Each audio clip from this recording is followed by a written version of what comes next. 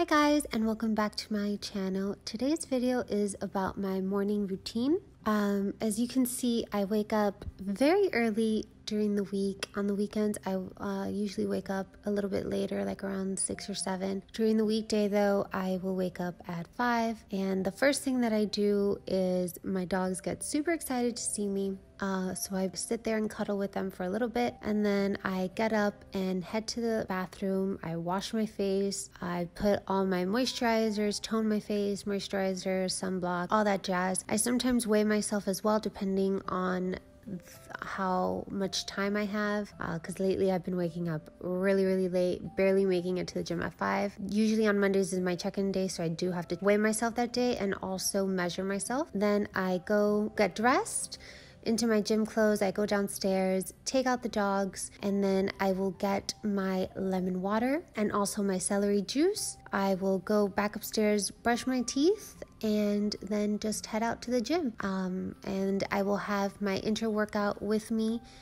so I can have it and not be training on an empty stomach. It's usually consists of some type of skittle or um, lately I've just been having two prunes since my calories have been cut. And that's about it. I hope you guys enjoyed this video. Let me know if you like these type of videos with the voiceover. Give this video a thumbs up if you haven't done so, and I will catch you in the next one. Thank you so much, and Merry Christmas.